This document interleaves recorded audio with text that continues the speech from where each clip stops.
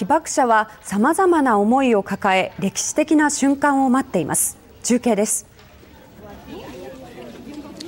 現在平和公園内はご覧のように多くのメディアや観光客で溢れ返っています。そういった中ここを毎日訪問するという被爆者はその中でひっそりと目をつぶって手を合わせていました。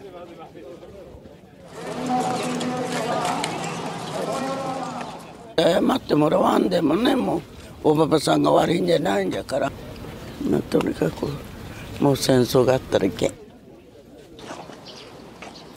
原爆慰霊碑には朝早くから被爆者の方々らが訪れて節目の日を報告するかのように手を合わせていました。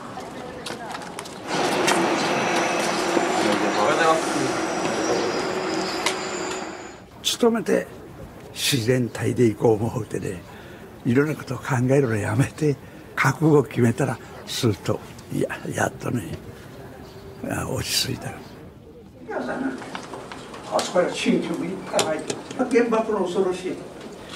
献花の場に招かれた日本被団協の代表理事坪井直さんは午前中はライフワークの被爆証言を行い午後から訪問に備えるということです。